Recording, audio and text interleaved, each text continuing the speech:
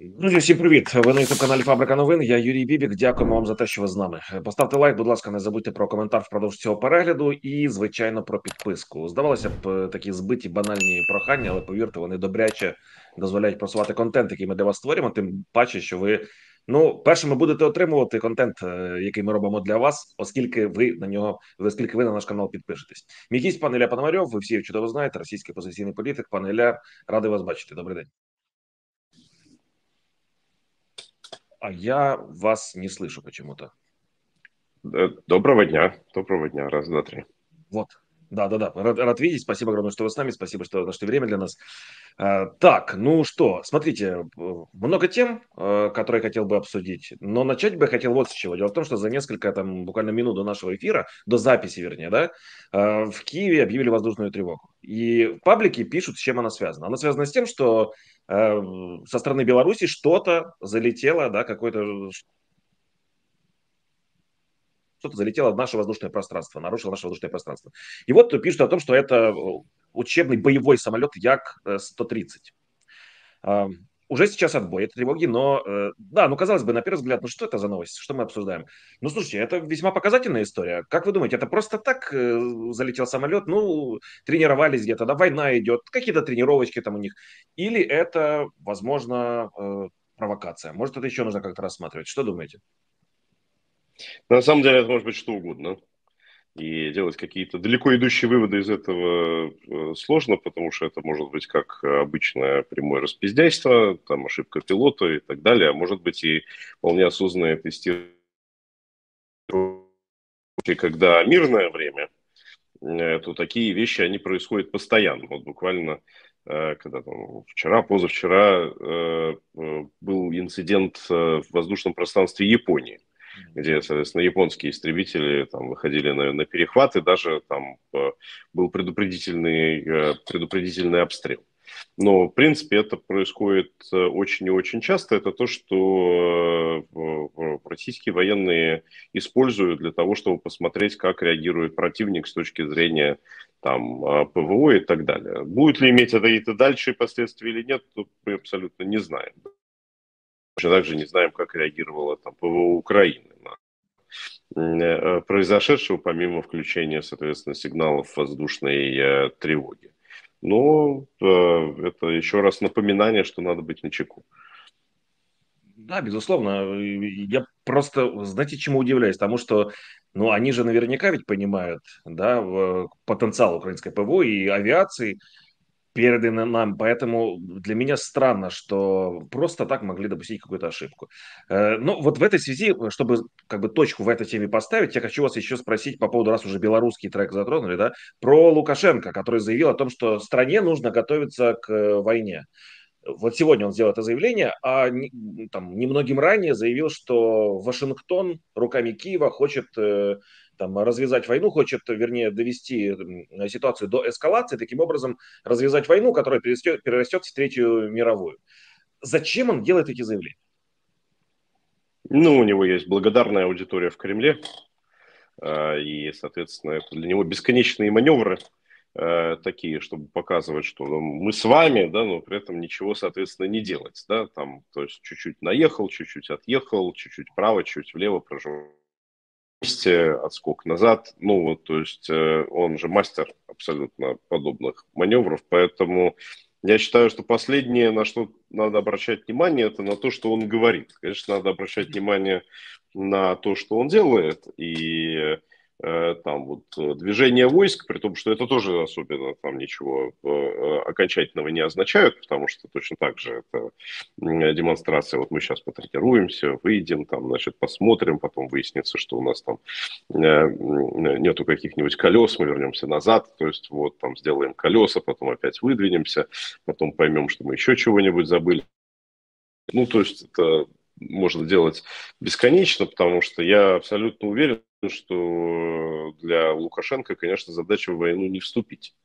А, он понимает, что это вещь для него очень опасная, с негативными последствиями и все прочее. Опять-таки, это не означает, что этого не произойдет, что могут заставить, там, могут додавить, могут там, значит, приставить э, пистолет к виску, но я думаю, что он лично будет продолжать делать все возможное, чтобы этого избежать.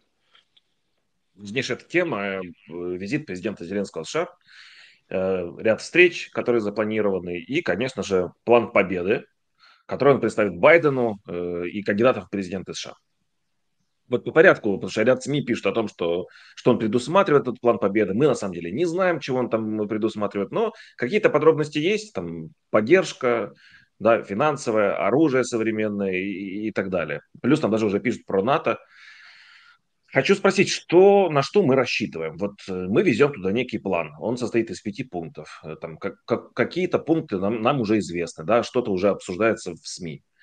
А что по итогу? Вот мы показываем план Байдену. Что он должен сказать? Ребят, я увидел, услышал, понял, я это все одобряю. Или мы вам говорили о том, что это невозможно, НАТО невозможно, оружие даем столько, сколько вот можем давать, денег тоже не от меня зависит, там и Конгресс должен как-то решать. Ну вот такое положение дел у меня сейчас. Тем более я через пару месяцев вообще ухожу. Как бы вы это оценили? Ну, смотрите, здесь много, э, я бы так сказал, плоскостей, на тему которых надо, надо говорить. Значит, э, во-первых, да, э, никто не видел что именно донесено вот непосредственно там, до Байдена и до его ближайшего окружения. А, значит, если есть какая-то утечка, значит, кто-то эту утечку организует.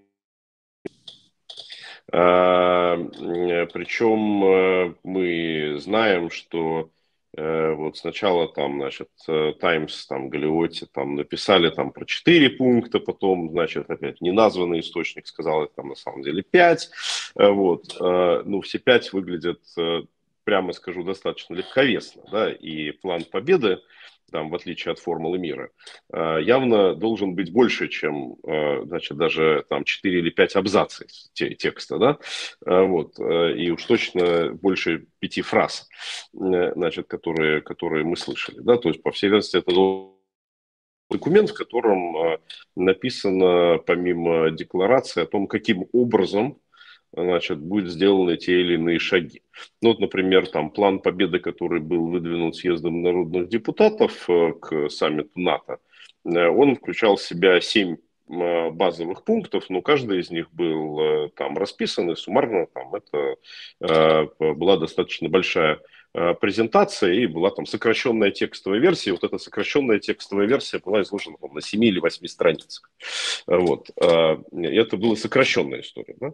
Ну, Значит, э, потому что заказ конкретные шаги и конкретные действия. Если это план, да, то есть если это не декларация. Вот.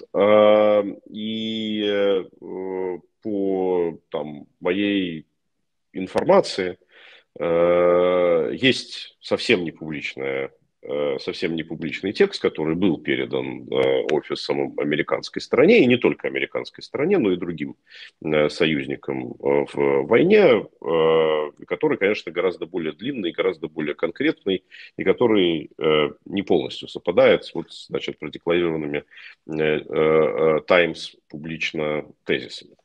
Вот. Смотрим, что в итоге Э, будет официально сказано, значит, официально распространено, до чего договорятся, до чего не договорятся. Вот, из этого уже, соответственно, будем э, исходить. Но в любом случае, я повторю то, что я, Юрий, в наших эфирах там говорил 135 тысяч раз, и рискую надоесть нашим телезрителям, скажу еще раз, что ни один план, который не подразумевает демонтажа Э, существующей российской государственности, путинизма, э, он не будет означать окончание войны.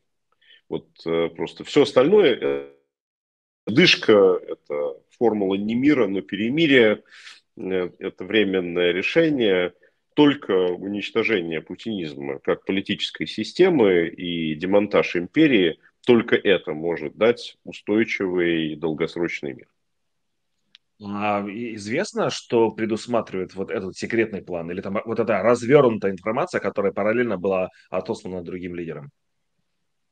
Ну, мне рассказывали разные вещи, но я не знаю, они соответствуют правде или это является, опять-таки, целенаправленной дезинформацией, поэтому лучше это не комментировать, а подождать, когда это станет известно Потому что там есть вещи, которые, я так скажу, мне сильно не нравились в том, что мне рассказывали, да, э, и что, мне кажется, просто создает риски, на самом деле, политической стабильности в Украине в результате этого реализации.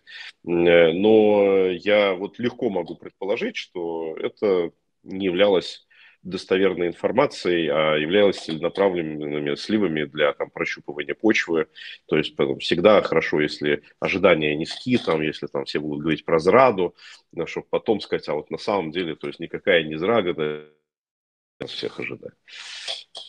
В таком случае я не могу не спросить, извините, что вот так вот вас мучаю, но то, что было в Бильд, вот тот слив, который мы видели в Бильд, который очень быстро опровергли в офисе, заморозка войны, она входит в этот секретный план или нет? Ну, я так скажу, что если не получить от Запада э, каких-то таких больших и сильных шагов, то альтернативы-то большой другой не будет.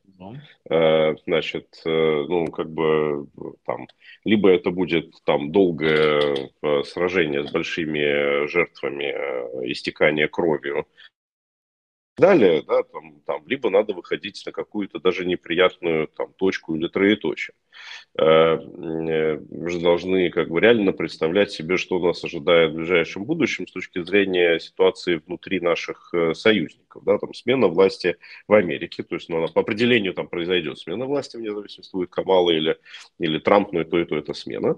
Э, при этом в случае с Трампом мы получаем президента, который точно настроен на какое-то быстрое перемирие. Да?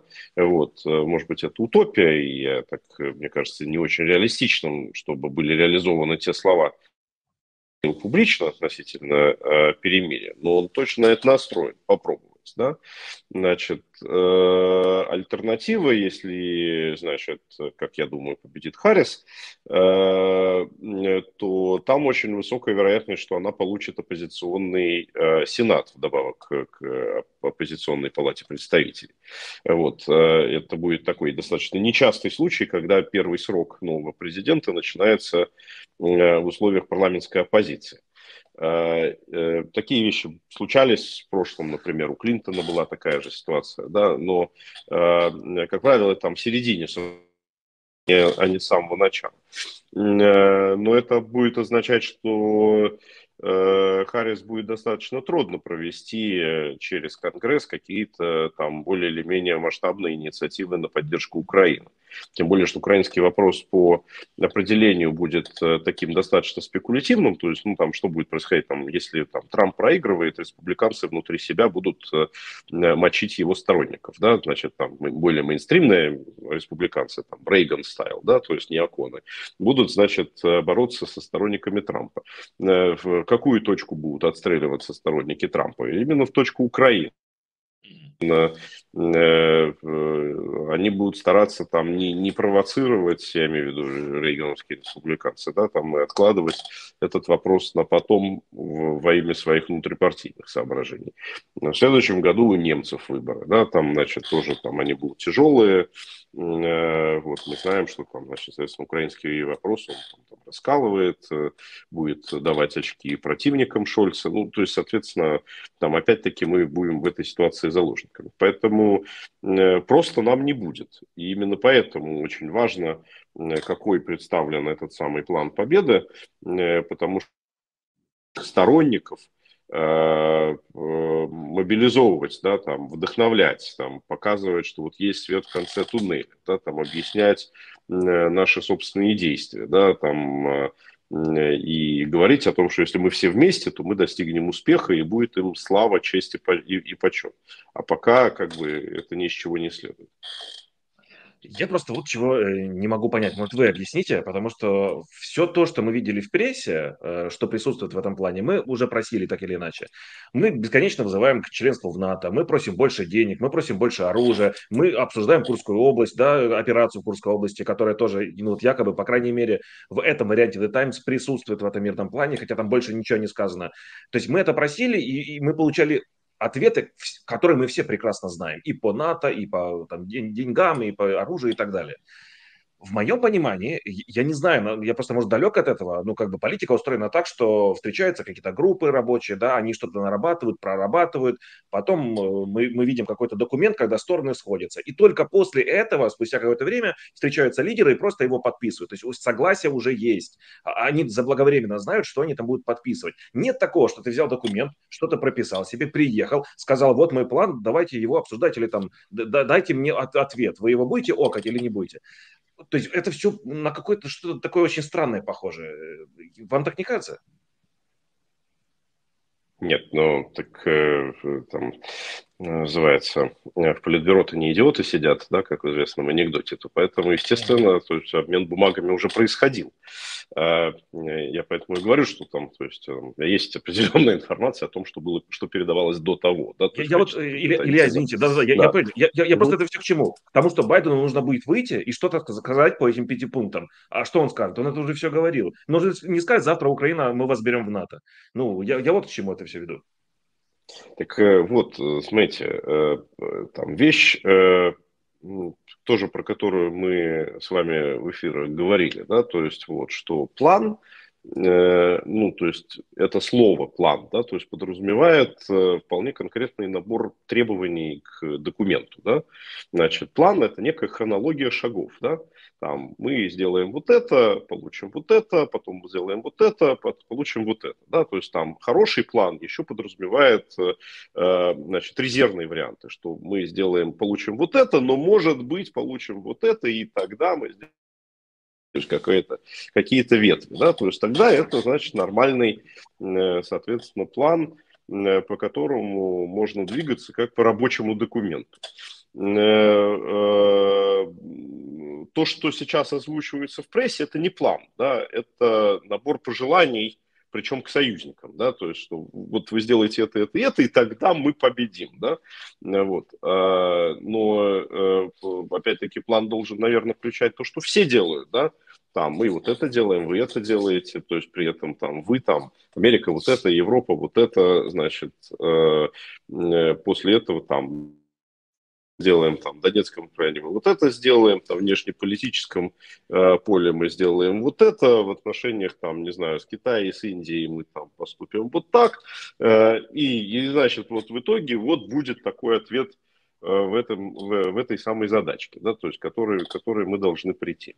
А, ну, то есть, просто менять э, там формулу мира, которая является, э, по сути дела, требованиями к России – Э, на какое-то другое, что является требованиями к штатам, это не приближает нас к плану победы, да, то есть вот это просто одно к одним требованиям, другое к другим.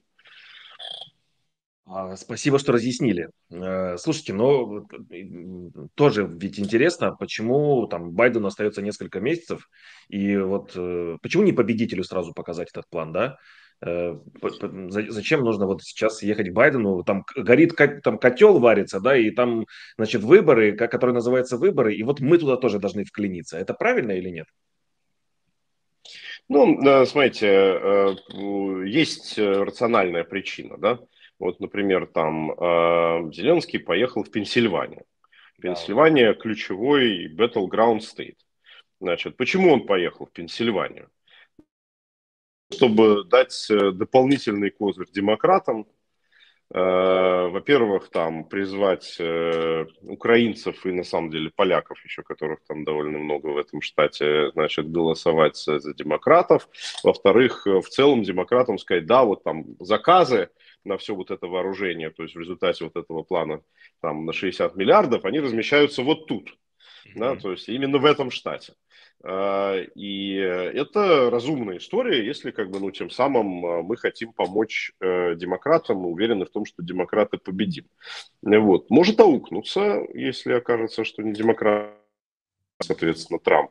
Но, наверное, да, предпочтительные шансы, что побеждают демократы, и тем более, что все-таки Зеленский это делает достаточно мягко, там, без всяких призывов голосовать за того или Э, за того или иного, да, хотя, ну, конечно, то есть умные люди понимают, значит, соответственно, почему он это делает. В ответ он точно так же хочет, что поскольку э, вот осталось последние вот эти вот, э, значит, месяцы, то, наверное, он исходит из того, что руководитель Соединенных Штатов может сделать делать какие-то неортодоксальные э, решения, потому что уже как бы, значит, там, особенно он может это сделать там после выборов, да, то есть в течение там но опять же, чтобы что-то было сделано после выборов, договориться об этом надо, э, соответственно, сейчас. На самом деле это впрямую противоречит американской политической традиции, э, потому что в Соединенных Штатах даже когда там смена партий э, происходит, не принято значит, в последние дни, чтобы, значит, уходящий президент там, значит, делал какие-то судьбоносные вещи, принято это передавать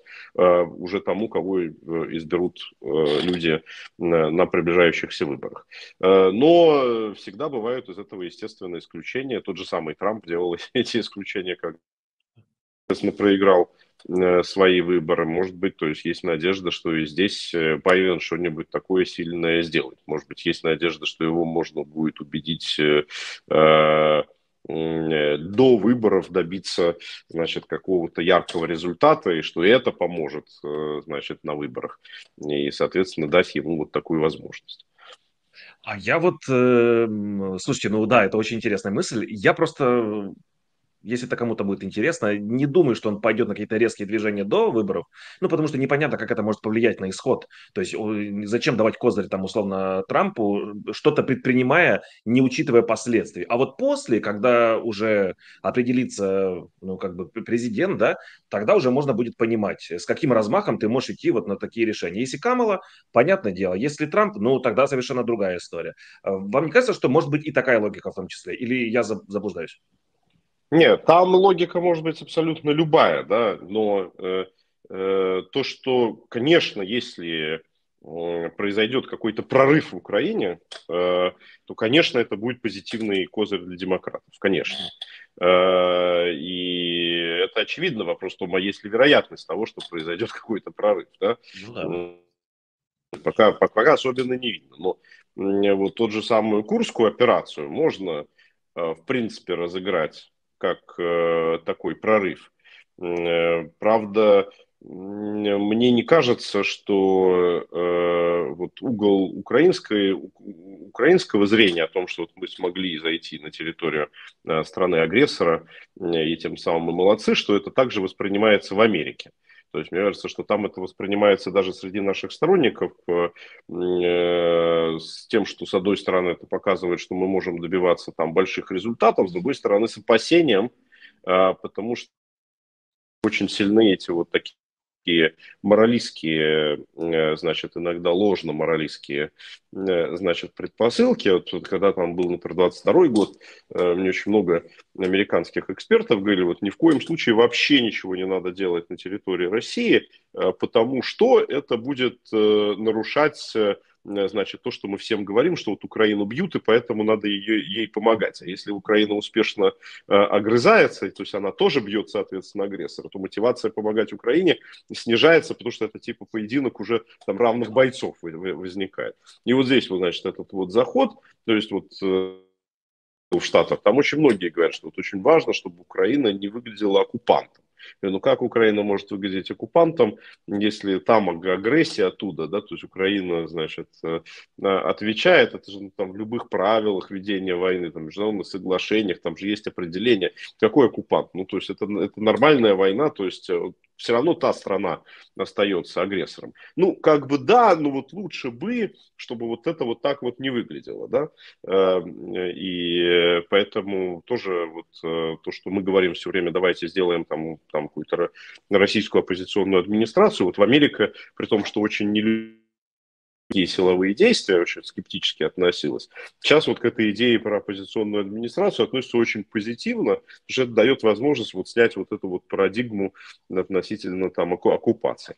Что там услышит Зеленский в Вашингтоне?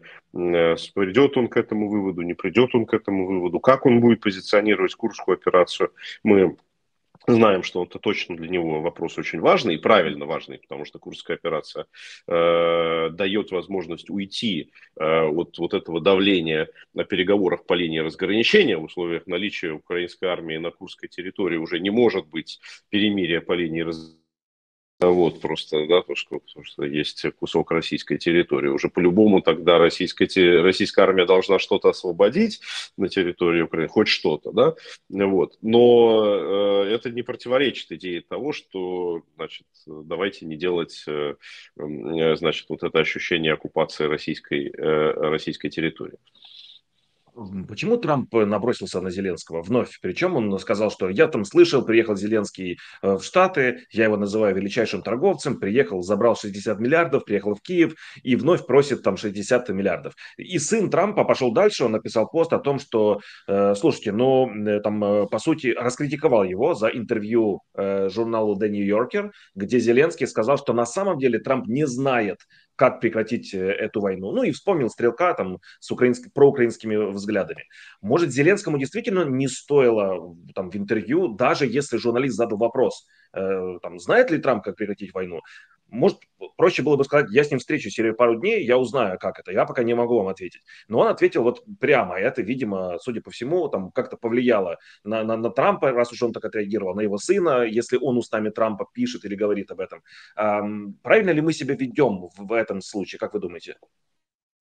Знаете, вот когда вы или я будем президентом Украины, в ситуации военного конфликта, мы будем для себя решать, как мы будем говорить в, в интервью Нью-Йоркеру. А так я единственное, что могу сказать, что президенту виднее.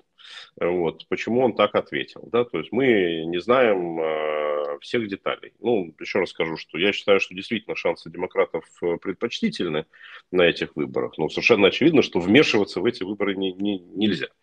Но может быть, э, может быть, есть шанс продавить какие-то вещи через вот эту еще администрацию. И тогда, соответственно, Зеленскому выгоднее им подыграть. Мы этого не знаем. У него есть спросим э, за результат, получится или не получится. А, финально именно по Америке. Как вы думаете, если президентом станет Камала Харрис. Она будет более решительна, чем Трамп в принятии решений. Э, есть такое слово в украинском языке «вагатыся», да? Вот решаться, предоставить право, не предоставить, дать денег, нет, сказать что-то резкое или, ну, в общем, что, что-то сделать. Вот она будет вагатыся, да, это сделать, решаться, или она будет более, как бы, решительно, более жесткая по отношению к Кремлю и более, там, как-то благосклонна в принятии решений для Украины, для Киева? Я думаю, что Камала Харрис будет существенно более слабым президентом, чем э, э, будет гораздо больше зависеть от своего окружения. Понятно. Просто потому, что она во внешней политике некомпетентна. Я думаю, что она будет сосредоточена сама на политике внутренней, а в этом вопросе будет полагаться на своих советников, роль которых вырастет. То есть э, мы очень много Э, там, мы в данном случае, я имею в виду украинских комментаторов, там даже российских оппозиционных комментаторов, да, там э, любили говорить про э, там зрадников, там, значит, Бернса, там, Салливана и так далее, но давайте, вот сейчас уже срок заканчивается, никого так обидеть мы не можем, вот, но надо себя ну, принимал Байден.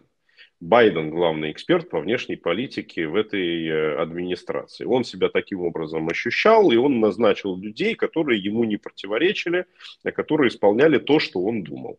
Блинкин, его руководитель аппарата многолетний, э, Салливан, это парень на побегушках, то есть такой отличник, который там делает то, что делает шеф, и делает очень добросовестно, кстати, очень качественно. Вот. Э, Бернс, там, значит, человек с идеей фиксом остаться в, в истории. Да?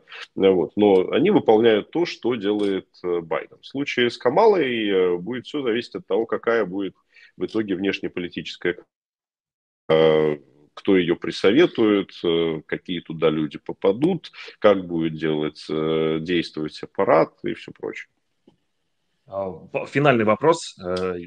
Объясните, пожалуйста, может вам понятно, почему сейчас все говорят про скорейший мир. Но вот президент тоже в интервью американским СМИ говорит о том, что мир ближе, чем все мы думаем.